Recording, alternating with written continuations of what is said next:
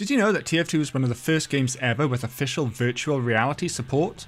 Valve added VR mode to the game all the way back in 2013 to work with the then still in development Oculus Rift. The most expensive TF2 item ever sold is around $30,000. This includes 28,000 real dollars direct via PayPal. In the extremely early second trailer released for the game, most of the classes are given what appear to be official catchphrases or mottos, with Engie's being, I like to make things, snipers being, pink clouds of death, and scouts, too much caffeine. In the early stages of TF2's design, the art style was at one point planned to be claymation, with characters exploding into clumps of clay upon death, before these plans were scrapped and the so called painterly look was settled on. Despite their visual sizes, characters do not have different weights, although Heavy does have a personal hidden stat of 50% knockback resistance, but otherwise Scout, Soldier, and everyone else are all influenced by knockback sources like Air Blast, the exact same amount. In the Meet the Heavy video, we see writing on Heavy's bullets that says Super Caliber Fragile Ballistic, an apparent reference to Mary Poppins' Supercalifragilisticexpialidocious. And yes, I can say that really long Welsh town name, which I will at the end. You might know that TF2 originally released as part of a game collection called the Orange Box on PC, but did you know that it also simultaneously launched on Xbox 360 and a month later on PS3? And believe it or not, the game remains in the top 5 highest rated Xbox 360 games of all time on review aggregation site Metacritic. Sniper's voice actor is married to Administrator's voice actor in real life. Fortress is actually a code name for our particular group of mercenaries. Team Fortress, in effect, means a team whose name is Fortress. In the comics, we also hear about a Team Vanguard, a Team Echelon, and a Team Citadel.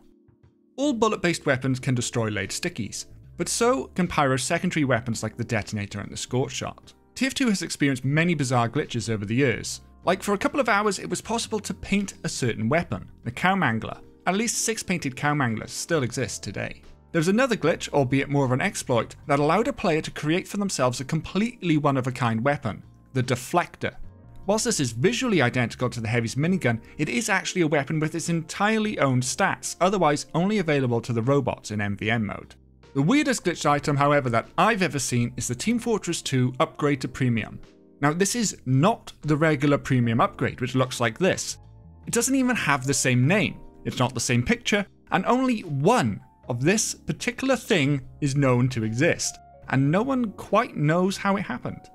TF2 wasn't always free to play, and it actually cost $20 on Steam for the first four years of its life. When the game went free to play in 2011, its players increased by a factor of 5. In other words, if TF2 had 20,000 players, that grew to 100,000 players practically overnight. You definitely know that TF2 is a bot problem, but did you know that this problem is so extreme that it actually significantly skews TF2's data that we literally don't know how many real players the game has? With that said, TF2's peak player count is over 250,000 concurrent players, which was reached in July 2023, over 15 years after its initial release. Regardless of the debate about exactly how many of those players might be bots, TF2 remains incredibly popular despite its advanced age, in a landscape of otherwise regularly dying live service games. Sniper is not Australian, he's actually from New Zealand, which in the Team Fortress universe exists at the bottom of the ocean in a giant glass dome. MVM Uber Canteen's effect engineer Sentry Gun. Whilst they don't make it invincible, they do grant 90% damage reduction. The Space Age Dr. Grordbort weapons were actually created in partnership with Weta Workshop, perhaps best known for their special effects work on the Lord of the Rings films, who in turn partnered with concept designer Greg Broadmore, who created the Dr. Grordbort universe. As a result, Many of Dr. Grordbort's guns exist physically in real life as incredibly high quality replica models. The most viewed TF2 video ever is Rise of the Epic Scout by Crash Mall with over 91 million views. Canonically, Spy is all but confirmed as Scout's father, even going so far as to dress him as son in a near death experience. You can technically detonate stickies one by one, lay all 8, and then simply fire. Your first laid sticky will now explode, not get deleted, but actually detonate doing damage, just as if you had manually selected that one and only that one to blow up. There are over 3,000 unique items in Team Fortress 2, and this number is constantly growing, as tens of new community contributed items are still added multiple times a year. Of those items, at least 1,400 are community contributed, meaning that they were made by a TF2 fan like you or me, and then they were officially selected to be added to the game. The original Team Fortress game was a mod for Quake, all the way back in 1996, Valve saw the mod and liked it so much that they employed the entirety of the then Australian development team and moved them over to America to work on a version of Team Fortress in the then in development Half Life engine. This means that Team Fortress 2 is actually the fourth official Team Fortress game. There was the Quake mod, then there was Team Fortress on the Half Life engine, which is today known as Team Fortress Classic. But then the original TF2 was a game called TF2 Brotherhood of Arms, which never released. They went back to the drawing board, and then finally, in 2007, they released the version of TF2 that we know today. Despite no direct esports support from Valve, TF2 has always had and continues to have a thriving competitive scene run by the community, with multiple leagues and divisions running in every region, still actively, such as Oz Fortress, RGL, and ETF2L, which alone is in its 47th season. The administrator, the omnipresent commanding voice in game and the old woman pulling the strings in the official story, is at least 150 years old. The reason Demoman's default grenade launcher has 6 chambers is because it originally held 6 grenades in a clip before being reduced to 4. The model was never updated to reflect this. The Team Fortress developers once created a one-of-a-kind hat for Notch, the creator of Minecraft, after what was essentially a joke on Twitter about no one believing who he was when he was playing the game. There are actually multiple one-of-a-kind items in addition to the top notch. Three of these were awards for a contest in 2010, Three of them are special temporary hats with a very unique mechanic of automatically changing player every single day. And there's even a set of hats awarded to winners of a Dota 2 beta tournament in 2011, which may technically be zero of a kind, as these players never appear to have opened their TF2 backpacks. Robin Walker, one of TF2's original lead developers shipped over from Australia, has gone on to have a very successful career at Valve, and he was one of the project leads on Half-Life Alyx. Many former top TF2 players and competitive commentators have gone on to lead successful careers, often in the professional esports world, such as Brennan Sideshow in Valorant, and Super in Overwatch, who won both the World Cup and the yearly championship twice with his team. Some of TF2's most in-depth character lore comes from two unlikely places. A never released set of official trading cards and the back of their official NECA action figure boxes. It's in these sources that we learn that Medic apparently has no formal medical training, However, in the Meet the Medic short, he talks about losing his medical license. This has led to some confusion over whether he really is a doctor or simply just a mister, as he is referred to by the devil when he meets him in the comics. What's even more confusing, however, is the truth about Demoman's parents, whose trading card, action figure box, and website blurb all directly contradict how they died. And on top of this, his very much alive mother features prominently in the comics, so it remains unclear just exactly which version of the story is the realest. Random crits are not actually random. The more damage you do, the more likely you are to deal a crit. And melee weapons have an even higher chance to deal random crits again, with the max damage multiplier taking your melee crit percentage up to 60%. In addition to critical hits, there are also critical heals, although these aren't random at all. Instead, heals get exponentially faster the more time has passed since the heal target has received damage, with heal rate actually being 3 times faster after 25 seconds.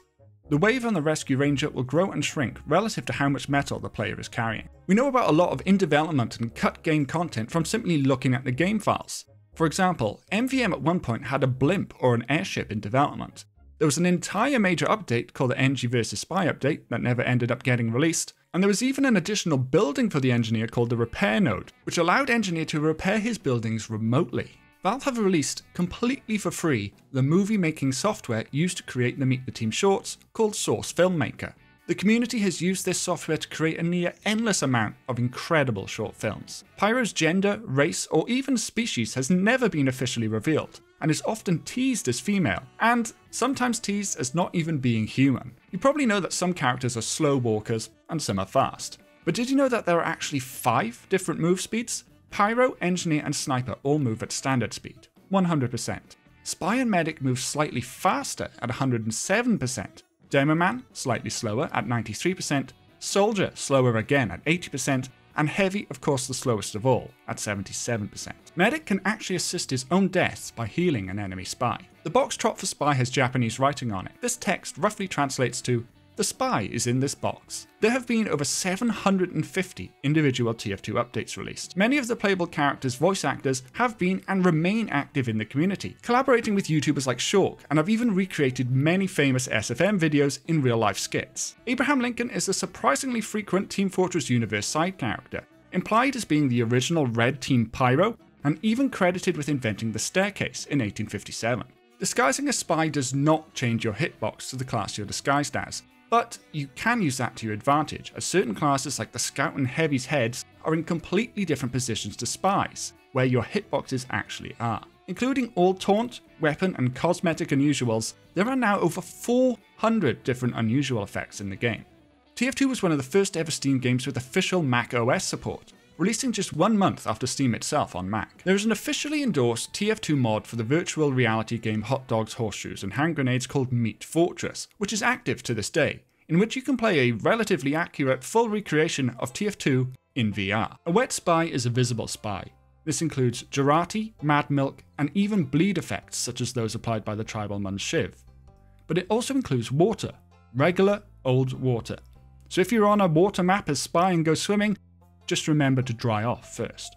Unlike in a lot of modern shooting games, reloads are 100% interruptible by shooting in Team Fortress 2, no matter what stage of the reload you're at, meaning that there's almost no reason to not enable the auto reload setting, unless you find it distracting. There are 12 different item qualities in the game. That's the technical name for why certain items have different colours. You all know normal, strange, and unusual, but did you know about haunted, community, and even Valve quality?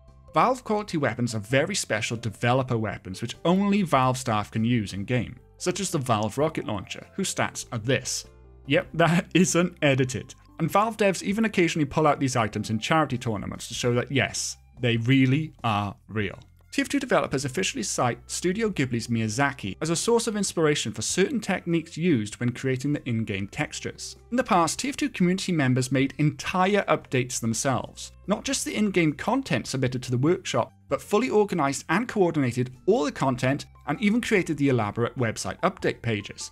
Such updates include the Robot Boogaloo, End of the Line, and Invasion. Despite being one of the main characters in the comics, there is almost zero lore ever revealed about Miss Pauling. No first name, no age, basically nothing. We know even more about the super mysterious administrator than we do Miss Pauling. An enemy spy disguised as a spy will always be wearing a disguise. So if you see an undisguised friendly spy, they are 100% guaranteed to be a friendly. And similarly, if an enemy spy is disguised as a class who no one on your team is actively playing, the game will pick a random player's name to copy but that spy will have no loadout, so always be especially careful around teammates with fully default items equipped. A game with as many items as TF2 obviously has plenty of pop culture references, such as the Dr. Whoa representing Matt Smith's Doctor Who bow tie, the Starboard Crusader, a nod to JoJo's Bizarre Adventure, and the Plumber's Cap, definitely not related to any lawsuit happy Japanese video game giant. My personal favourite, however, is Your Eternal Reward, being a reference to Disney's Aladdin, Yes, the one and only Disney's Aladdin. I don't know what you're talking about. TF2 can be credited with popularizing a lot of now extremely common game mechanics, such as cosmetic items in non cosmetic based games like shooters, the general idea of substantially different classes in shooters, and, as much as it pains me to admit it, loot boxes.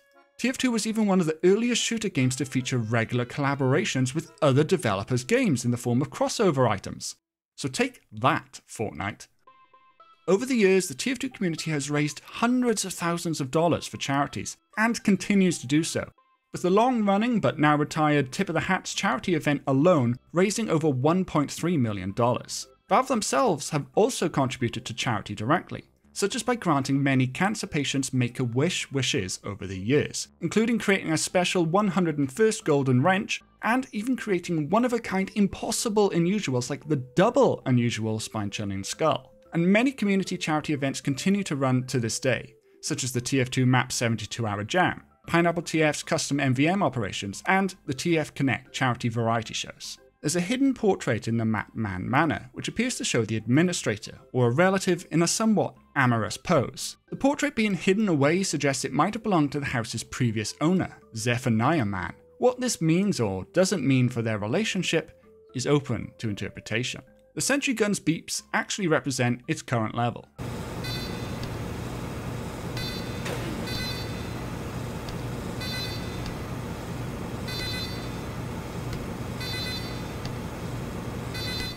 Moby Francke, the original art lead on Team Fortress 2, went on to be art director on Riot Games' Valorant. The original is called the original because it is based on the rocket launcher from Quake, the original game upon which Team Fortress is based. Similarly, the classic is called the classic because it is mechanically similar to the sniper's primary weapon in Team Fortress Classic. Teufort is the name of the town where TF2's events actually play out. You can extinguish teammates on fire with the Sydney Sleeper. All of Heavy's miniguns have official names. The default minigun is named Sasha, the Brass Beast is named Oksana, the Huo-Long Heater is named Sheila, and the Tomislav is named Svetlana. Interestingly, Natasha has a different Slavic name in the game files, Ludmila. A form of cheating called idling was once so rampant in TF2 that Valve actually decided it was easier to reward players who didn't cheat than it was to punish all of the players who were. There are near countless TF2 cameos in other completely independent games and franchises, like Heavy playing poker in Poker Night, the Scout in Fall Guys, and Pyro in Sega's answer to Mario Kart. TF2's very first lore release included this torn up family photo. Despite 15 years having passed, the person cut off in the picture has still never been officially revealed. While some people think it must be Gray Mann, this would directly contradict Redmond and Blutarch not knowing who Gray is in the Blood Brothers comic. Either way, Valve has only ever revealed two sides of the photo, but the middle remains a mystery. The payload moves increasingly faster with one, two, or three players pushing it, but not anymore. So if there are 3 or 33 players pushing, it's still going the same speed. Valve once accidentally released a bug to the game that gave Unusuals a 100% unbox rate, completely crushing the in-game market for a weekend. For context, the intended unusual unbox rate is less than 1%. How the community have voted or played the game has directly influenced what updates later got released to the game. For example, the gunboats were given to the winner of the Soldier vs Demo Man war, meaning there's a reality where Demoman was the one with the improved blast jumping tools all these years. There's also the Heavy vs Pyro war, dictating an entire future update, which ended up being Jungle Inferno. Meaning there's another reality where Heavy wins, and we're all here playing with the hypothetical Siberian jungle update as our latest Valve made memory. The coordinates administrator tells Pauling to meet her at in the comic Old Wounds are real, and lead to a spot in the New Mexico mountains known as the Organ Needle. New Mexico is the state where TF2 is set. Blast jumping as soldier or demo man mechanics are so complex that they are effectively a game in their own right, with thousands of community created assault course maps specifically designed for jumping through. There's even a bunch of hidden mechanics uniquely useful for jump courses like C tapping, pogos, sinking, speed shots, edge bugging, and even more. Despite a lack of updates, no official end to development has ever been announced. There's a special non obtainable from unboxing unusual effect called Community Sparkle, reserved only for a small handful of niche use cases, most commonly by creating an item which Valve select to add to the game. One item that can still be obtained with the Community Sparkle effect is the Wiki Cap, a unique hat awarded to dedicated contributors of the game's official wiki. I think that's pretty damn cool. There are official concept designs of female mercs released by Valve artist Drew Wolf. These, as of yet, have not been developed into official playable characters. We know many of the names of the mercs themselves, Scout is Jeremy. Demo is Tavish Finnegan de Groot. Heavy is Mikhail. Engineer is Dell Conagher. Medic is Mr. Ludwig. Sniper is Mundy Mundy. And Soldier appears to be legally named Sergeant Jane Doe. An engineer sentry will damage him. This can be used by a crafty spy to lure an engineer into suicide. But a skilled engineer with the Wrangler can use this to his advantage and actually shoot himself in a similar way to a soldier or demo man, pulling off some insane tricks. There was a time where certain hats actually changed your stats. There was even a couple of combos where a hat, which could be bought on the in game store, would purely buff your stats, with no downsides, making their use arguably pay to win. This mechanic was eventually removed. The official PASS Time game mode wasn't originally developed by Valve, but by Bad Robot, the production company of filmmaker J.J. Abrams. Abrams and Valve originally talked about developing both Portal and Half Life movies all the way back in 2013. At the time of recording, we're still waiting on those projects. Demoman only has one eye because his eye socket is haunted, after an incident featuring the Halloween book The Bombinomicon. Medic has actually healed and returned the Demoman's eye to full health multiple times, but due to the haunting of the eye socket, something always goes awry. Source engine bunny hopping does exist in TF2, but requires extremely precise timing. And it's not just for fun, it does have some genuinely practical applications. Like perfect B hops after landing with the Market Gardener allow you to crit any time after you land, as long as you continue pulling off perfect B-hops. TF2 used to have a public beta version of the game alongside the live game between 2010 and 2013. Some updates tested in this public beta before making it to the real game with a splitting of the equalizer into two weapons, and some brand new weapons were even revealed there, such as the Overdose or the Solemn Vow. There are, of course, some weapons that were tested in the beta that never made it to the real game, such as the idea of pocket weapons. Items which got a crit boost when the medic healing you was killed. Due to rules around showing blood in media in Germany, all the German Meet the Team videos are edited to show the characters exploding into scraps of metal instead. There is a lore based explanation for why the teams are fighting. They are both employed by Redmond and Blue Blutarch Mann to try and beat the other brother and consequently win the gravel contained within the land they're fighting on. The lore doesn't try to explain respawns or how there are apparently multiple clones on both sides. The promotional hat from buying the TF2 official chess set, the Grandmaster, has a unique built-in killstreak mechanic added to the game before regular killstreak kits even existed. The chess piece hologram it displays on top will react and increase in rank depending on the player's current killstreak. Reloading a spy will actually reload your disguise's weapon. You can even use the reuse last disguise bind to switch your disguise's weapon to your current weapon slot. For example, when you disguise as engineer, you'll be holding his shotgun. But if you then switch to your knife and press your last disguise bind, D by default, your engineer disguise will now be holding out his wrench, a potentially very useful tool for really selling your disguise. There are official maps and even game modes which have been completely retired with no apparent explanation. For example, the Robot Destruction and Arena modes, the latter of which was added all the way back in 2008, are no longer available in official playlists outside of seasonal community maps. There are several unused conditions still in the game which you can easily apply to yourself in a server with SV cheats enabled, such as literally transforming into a dispenser when you crouch. I wonder what exactly was being tested when they added this. Gogogoch.